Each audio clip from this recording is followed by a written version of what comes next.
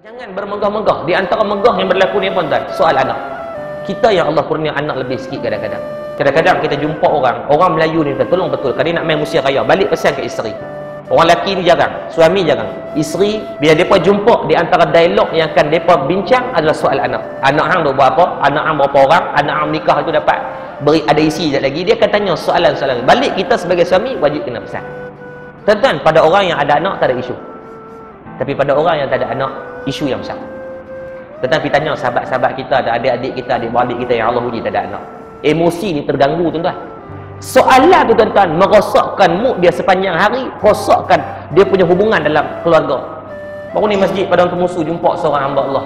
Dia mai jumpa dia kata ustaz, saya kahwin tahun 1980-an. Kira umur perkahwinan dah 30 tahun lebih.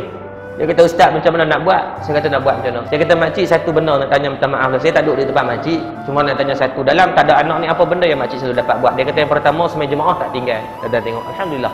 Itu nikmat Allah bagi dengan Allah tarik satu nikmat yang lain. Yang kedua dia kata dapat pergi umrah hampir setiap tahun. Allahu Akbar. Dan makcik kalau Allah bagi anak pun mungkin anak kita belum tentu bagi manfaat. Anak saya saya kata belum tentu bagi manfaat kat saya. Tetapi kalau mana Allah menangguhkan soal anak kepada kita, nescaya insya-Allah Allah bagi nikmat di sana, tu confirm tak dapat. Soal anak, jangan bermegahlah tuan. Anak kita ni Allah bagi ni dua punca. Yang pertama jadi benda baik, jadi benda yang tak baik. Dia tak ada tengah-tengah. Sama ada boleh bagi barang manfaat. Kita tinggal ke anak, anak boleh baca Quran. Kita tinggal anak, anak mengampai Quran. Kita tinggal anak, anak boleh semayang elok. Kita tinggal anak, anak jaga di antara halal dan haram, kita dapat pahala. Di sana kita akan tuai hasil dia. Yang kedua, anak akan jadi apa? Barang mudarat. Kita tinggal dia, dia tak semayang. Tuan-tuan duk kena katak dalam tu. Ya ayyuhalladzina amanu qu anfusakum wa ahlikum nara. Jelas Allah sebut dalam Quran.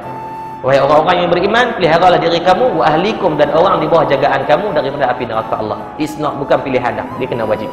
Maka doalah minta Allah bagi kepada kita dan anak-anak kita daripada harta benda kita terpelihara daripada rasa sombong dan rasa takabur kita sesama manusia. Manfaatkan harta tu dengan jadi wasilah untuk kita lebih dekat dengan Allah.